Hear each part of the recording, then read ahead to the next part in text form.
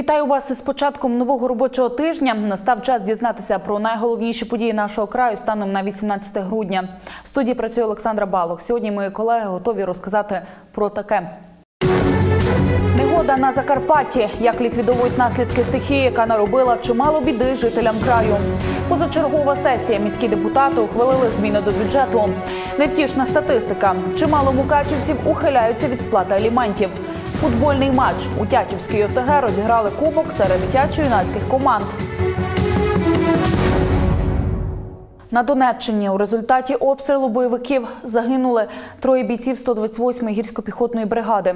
У ніч на понеділок, 18 грудня, бойовики так званої ДНР обстріляли з артилерійських гармат позиції українських військових поблизу Зайцевого на Донеччині, де зараз тримають оборону бійці 128-ї бригади.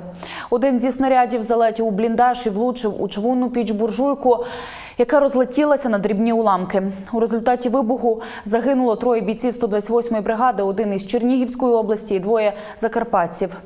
За інформацією, яка надійшла в облдержадміністрацію безпосередньої зони бойових дій, загинули 34-річний Тимофій Геніш із Рахова та 37-річний Андрій Сипавка з Ужгорода. Він був зареєстрований у ЧОПі, повідомляє Геннадій Москаль. В Андрія Сипавки залишилася дружина і двоє діток. У середу на Закарпатті оголошено день жалоби за загиблими бійцями 128-ї бригади. Таке розпорядження підписав Геннадій Москаль. Згідно з документом, у середу 20 грудня на будинках державної влади, органів місцевого самоврядування, державних установах, підприємствах та організаціях буде приспущено державний прапор. Окрім того, установам та організаціям, незалежно від форми власності, рекомендовано скасувати проведення розважально-концертних заходів. Як вже повідомлялося, у ніч на понеділок у результаті обстрілів бойовиків поблизу Зайцевого на Донеччині загинуло троє військовослужбовців 128-ї бригади, двоє з яких закарпатці. Протягом минулого тижня Закарпаттям вирувала негода. На початку тижня вона спричинила підтоплення, знеструмлення та снігові затори. Через підняття рівнів води ріки Боржава вона підтопила автошлях та сільськогосподарські угіддя біля села Великі Кум'яти Виноградівського району, села Вільхівка та села Сільце. Стався також перелив через автомобільну дорогу Шаланки Великі Кум'яти. Обвалені два мости, затоплено поля, дороги, дворогосподарства. У деяких регіонах області вода після проливних дощів навіть потрапила у хати.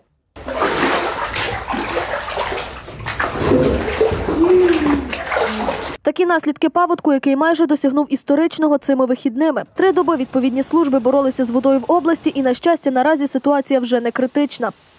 Ну і в принципі вода вже поступово починає сходити самостійно. Тож можна констатувати, що відповідний пік паводкової стихії вже минув.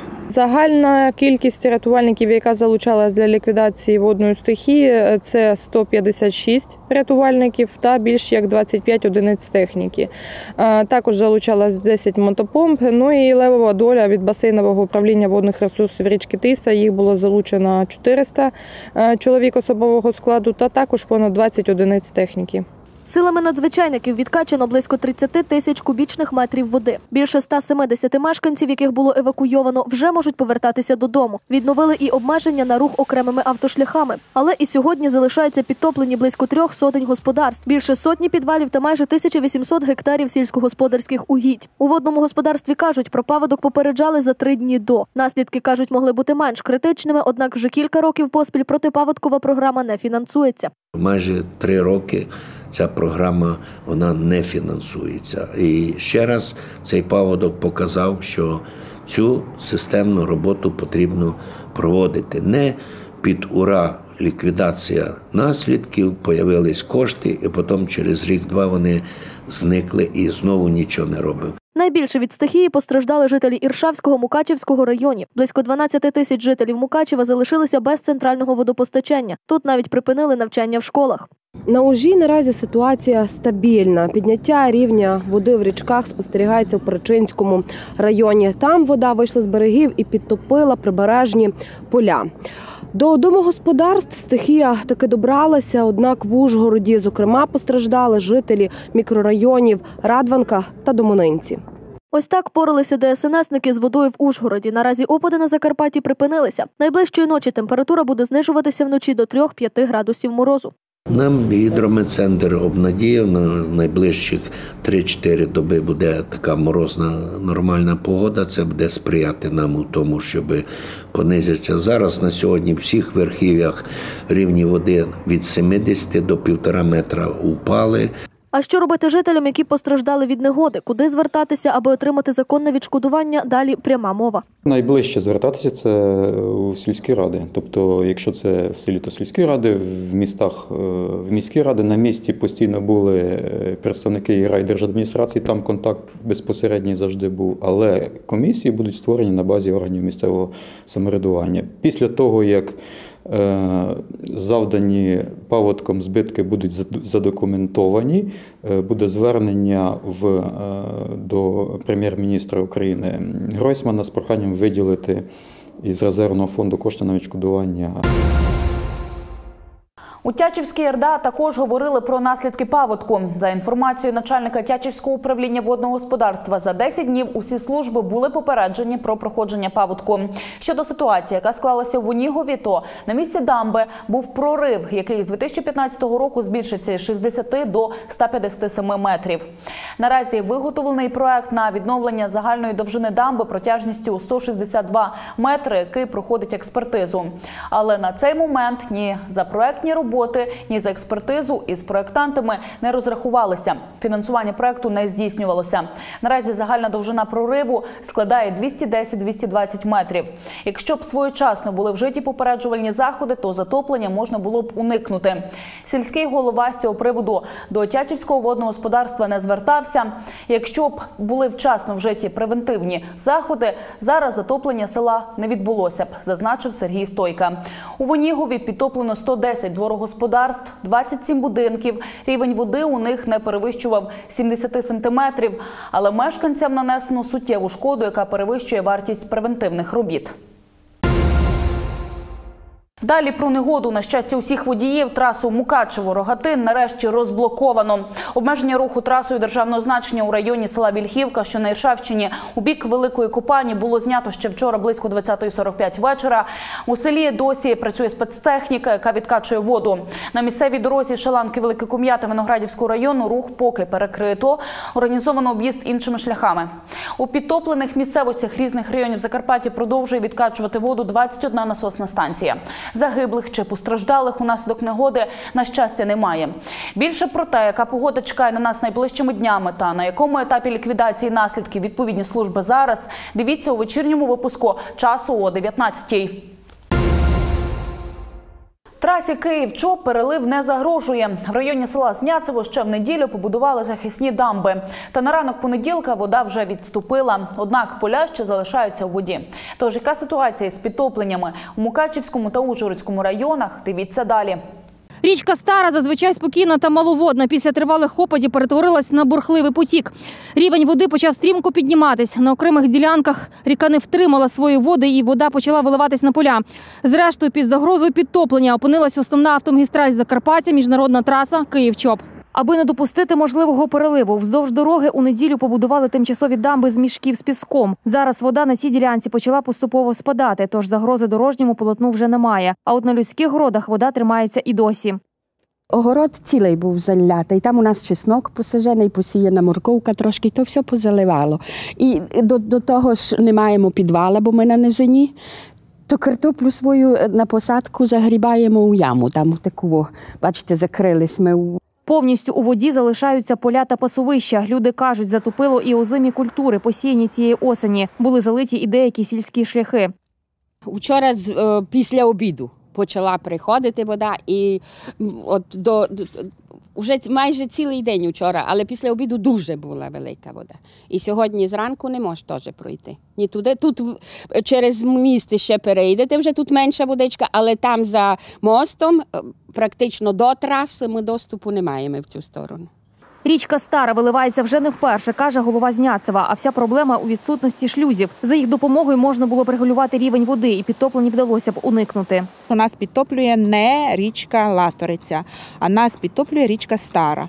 І вся проблема в тому, що нам треба просто допомогти е, нашій сільській раді е, два, поставити два шлюзи. На шлюз на вулиці Центральній і шлюз на вулиці Міру. Про цю проблему ми вже неодноразово повідомляли керівництво. Та казати, що небезпека позаду, поки зарано. Вода рухається далі за течією. Найбільш загрозлива ситуація буде там, де стара впадає у латорицю.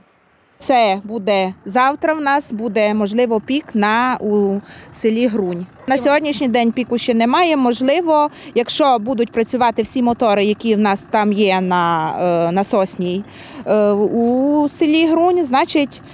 І Бог нам дасть, що буде мороз, то можливо піку не буде. Але завтра може бути на груні в нас у селі підтоплення. За прогнозами синоптиків, наступної доби опадів не буде, а вночі трохи підморозить. І така погода найбільш сприятлива в цій ситуації. Тож варто вірити, значних підтоплень вдасться уникнути. У зв'язку із масовими підтопленнями у краї у Мукачеві 18 грудня відбулася позачергова сесія Мукачевської міської ради. Головним питанням було відновлення постійного водопостачання у районах та освітніх закладах міста.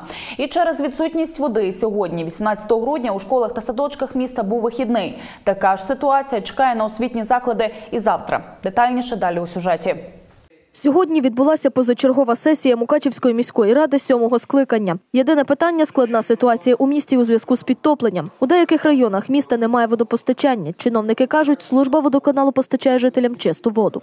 Розводиться вода бутильована вода. Тобто у нас графік гарно з, е, з, е, поліцією муніципальною, у нас гарно йде графік, ми забезпечені. Е, Активно реагуємо, люди дзвонять. У окремих районах теж забезпечують мешканців водою. На даний момент в суботу, неділю подається вода.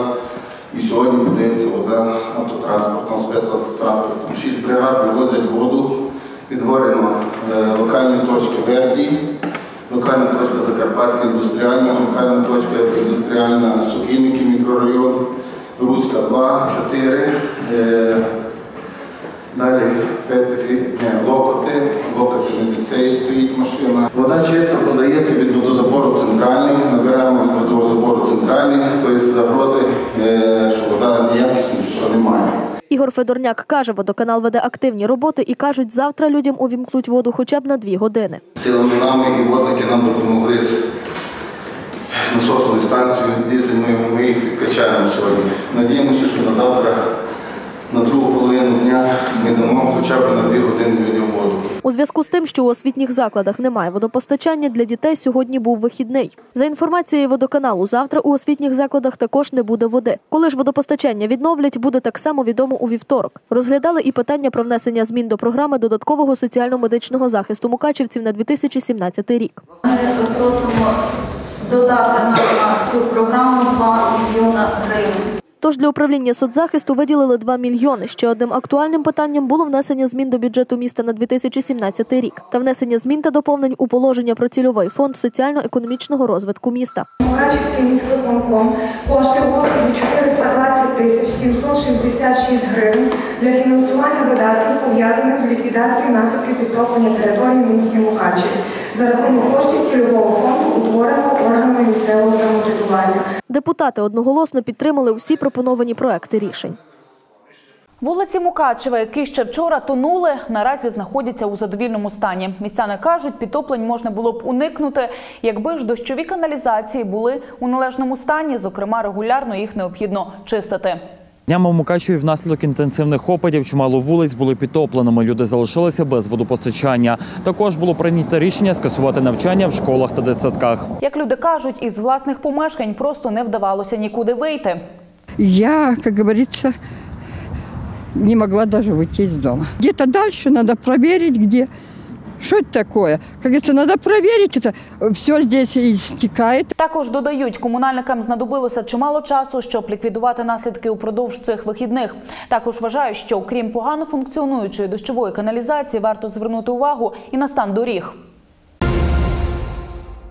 І в продовження теми наразі у Латориці та Боржаві рівень води досягнув історичного максимуму паводка 2001 року. Станом на ранок понеділка, 18 грудня, найвищий рівень води у Боржаві проходить у селі Верхні Ремети поблизу Берегова. Дамби уздовж Боржави реконструйовані, тому підтоплень населених пунктів не очікується. По річці Латориця найвищий рівень води проходить поблизу Чопа. Висота хвилі 7,5 метрів. Це також історичний максимум катастрофічного паводка 2001 року. За Запас дамби становить ще півтора метра. Однак основна небезпека не в загрозі переливу, а в тому, чи витримає перенасичене вологою тіло дамби, яка вже вісім днів перебуває під постійним тиском води. І хоч станом на цю годину у більшості річках рівень води знизився, завданої шкоди не поменшало. Більше про підтоплення на Хущині далі розкаже наш власний кореспондент Вікторія Василинець. Під новий рік із паводком. Саме у результаті інтенсивних дощів на закарпатців нахлинула справжня біда, адже підтоплені численні дворогосподарства. Вода із річок, із місцевих водойм вилилася навіть на дороги. На Хущині більш-менш стабільно. Найкритичніша ситуація була у суботу. Найбільше дворогосподарств підтоплено саме в Горінчеві. Там сотню дворів були у воді. Щодо сільськогосподарських угідь, то найбільше в Хуському районі підтопило сокирницю та стеблівку. Тут близько 300 гектарів опинилися у воді. Підтоплення на Хущині також сягають чималих розмірів. До прикладу, візі вода накрила із півсотні гектарів сільськогосподарських угідь, у Данилові 30 гектарів і у Вишківському Модіровщі 40. Щодо дворогосподарств, які плавали цими вихідними, то ситуація наступна. Хужа ситуація була в Горінчеві, Ізі, Кошельові, е, Липецька поляна, дороги переливало між е, Липчою і Горінчевом, між Липчою і Липецькою поляною. Значить, в Данилові теж е, така, скажімо так, раніше такого не було. Якщо більш докладніше, то у Данилові 30 дворів залило водою. У Кошелеві підтоплені садибні ділянки на вулицях Воз'єднання, Мічуріна та Молодіжна. У Горінчеві підтоплені вулиці та присадибні ділянки на них. А це близько сотні дворогосподарств на Горького, Незалежності, Гагаріна. Щодо Ізи, то тут спіткало лихо близько 150 жителів на шістьох вулицях. В місті Хуст ситуація більш-менш стабільна, бувало хуже. Е, Підтоплювалася вулиця Чайковського, підтоплювалася Гагаріна, ще деякі вулиці, е, визволення. Ну, іменно е, підтоплювалися двори. Вулиці переливало так. Піднявся хустець, ну а так ситуація більш-менш стабільна. Фактично усі місцеві водойми вийшли із своїх берегів та розлилися на прилеглій території. Піковою ситуацією була у суботу, 16 грудня. У неділю, 17 числа, вода пішла на спад. Річкові води повернулися у своє русло, чого не скажеш про ґрунтові. Вчора не, не було смисла відкачувати воду, тому що рівень тримався. Воду відкачувала, вона постійно прибувала.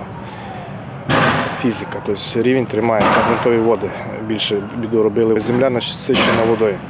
Власне для проведення аварійно-рятувальних та протипаводкових робіт на Іршавщині залучили і хустських рятувальників. Те, що коїлося там, словами не передати.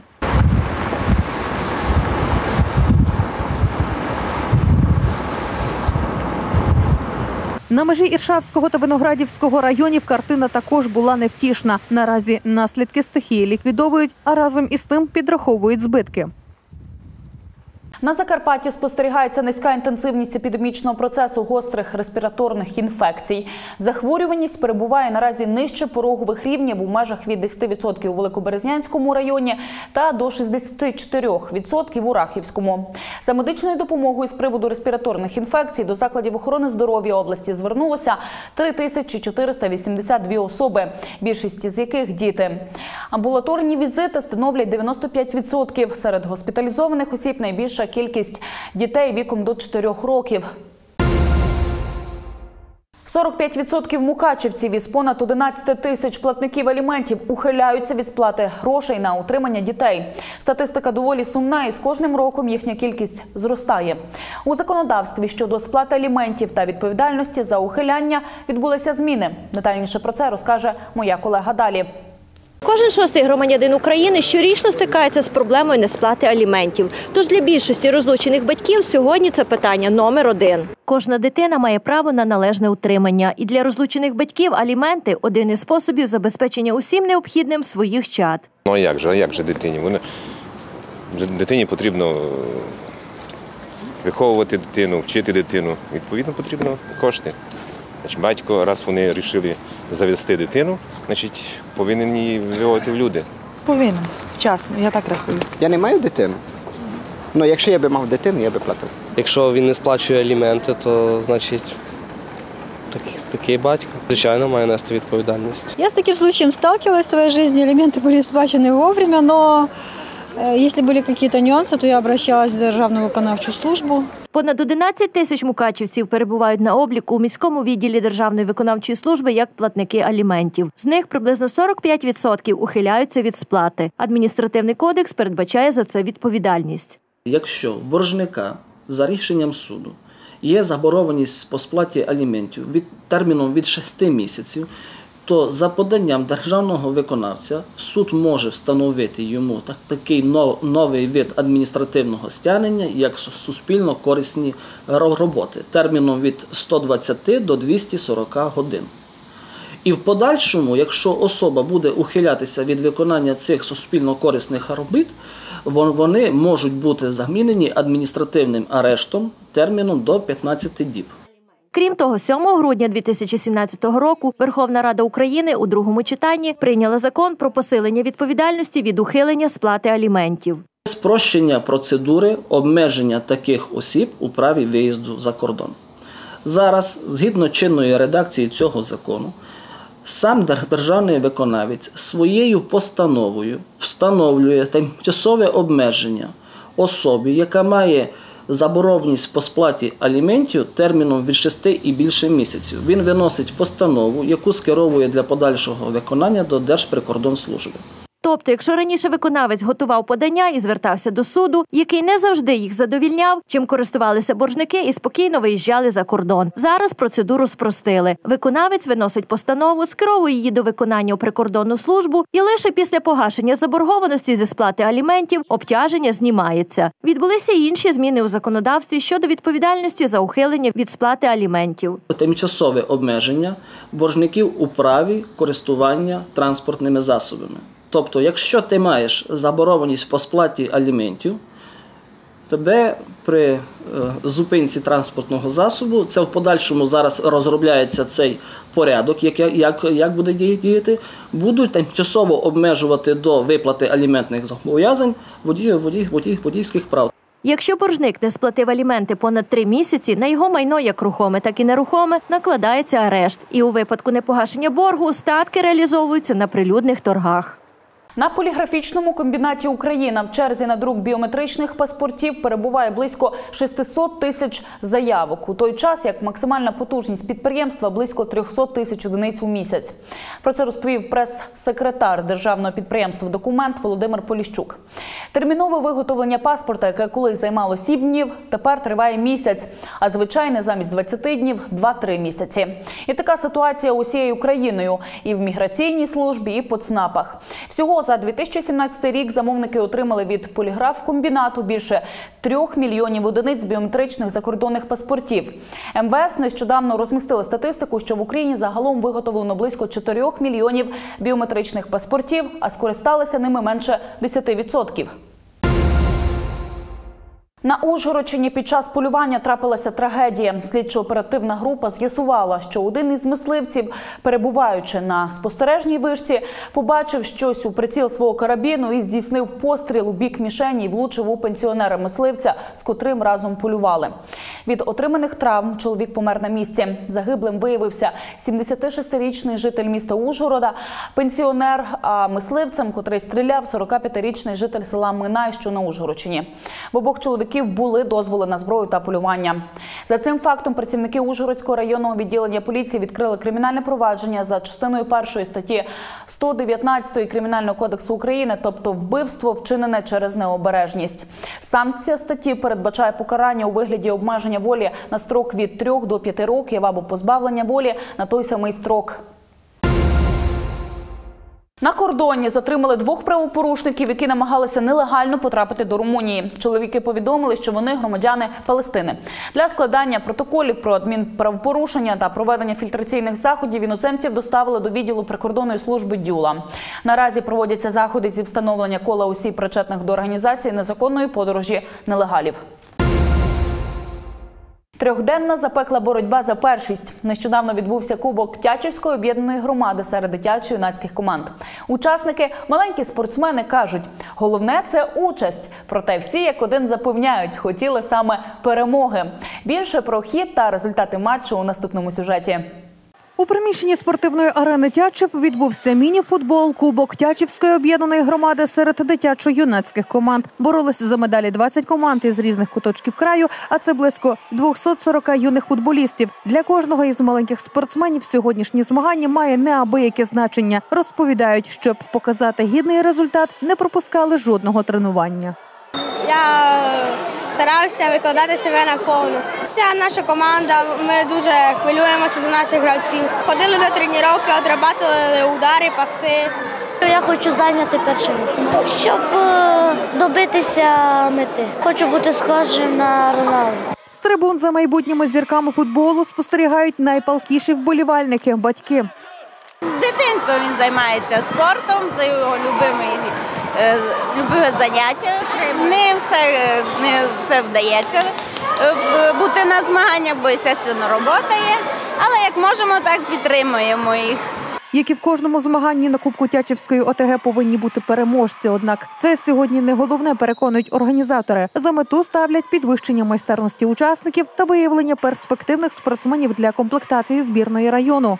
Головна мета цього турніру не кубки і медалі, а вдосконалення е, спортивної майстерності юних гравців, популяризація футболу в місті Тячів і в Закарпатті, а також об'єднання дружніх стосунків між дітьми, між командами, між тренерами, між батьками, між представниками команд, які сюди приїхали. Дуже е, прекрасний висновок, що ми залучаємо дітей, залучаємо молодь до активного заняття фізичною культурою і спортом, а саме футболом. Ми проводимо акції з усіх видів спорту. Це прекрасно, це здорово, що є е, люди, які допомагають дитячо-юнацькому спорту, і дивляться реально, що дійсно, що це, це здорово. Організатори додають, змагатися юним спортсменам відтепер не тільки приємно, а й зручно. Перший турнір провели у нещодавно відкритій спортивній арені Тячів. Організували його за підтримки народного депутата України Василя Петьовки.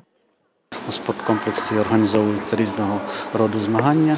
Сьогодні, як ви бачите, це саме футбольний турнір. Минулого тижня був гандбольний турнір серед діточок, який теж тривав протязі суботи, неділі. Попередньо був турнір з хортингу, всеукраїнського рівня, де брали участь спортсмени з Києва, Одеси, Рівного, Сарн, Львова. Е, На наступний тиждень тут буде теж проводитися футбольний турнір під егідою Федерації футболу Закарпаття. Надалі турнір з греко-римської боротьби. І так ми запланували таким чином, щоб життя спорткомплексу, як кажуть, вирувало. Проводиться вперше такому форматі кубки, але змагання подібного роду, коли е, беруть участь е, команди з різних населених пунктів серед е, дітей в різних видах спорту вони проводяться не вперше за сприяння Василя Васильовича Петьовки. І в першу чергу дає можливість здобути певну ігрову практику для дітей, побачити себе, показати батькам, подивитися на роботу тренерів, на подивитися на своїх діточок. Я думаю, що е, найперше, що дає, це масу задоволення в першу чергу для батьків е, самих дітей. Після насичених і цікавих змагань переможців, призерів та кращих гравців футболістів нагородили грамотами, медалями та кубками. У день головного єврейського свята світла й дива Хануки в Ужгороді урочисто запалили минору. Біля пам'ятки архітектури, збудованої у неомавританському стилі синагоги, де зараз розміщується Закарпатська обласна філармонія, зібралися представники єврейської громади та влади, які прийшли їх привітати. Після запалення свічок гостей розважали фаєр-шоу та частували традиційними для цього свята смаколиками. Ханука єврейське свято чуда та перемоги у війні між святістю і нечистотою. Свічки запалюють протягом восьми днів, щодня додаючи по одній. Зазвичай свічі встановлюють справа наліво, а запалюють зліва направо. Запалені на початку вечора, незадовго до заходу сонця. Свічі повинні горіти не менше 30 хвилин після настання темряви. І що цікаво, не можна використовувати світло ханукальних свіч для роботи, читання тощо. Таким було останнє повідомлення на сьогодні. У часі вівторка дізнайтеся про таке. Підвищення кваліфікації в Ужгороді розпочався семінар для закарпатських державних та приватних нотаріусів. Творчий звіт у гості відкрили традиційну звітну виставку. На цьому сьогодні у мене все. Дякую, що залишаєтеся із нами. В студії працювала Олександра Балох. До зустрічі.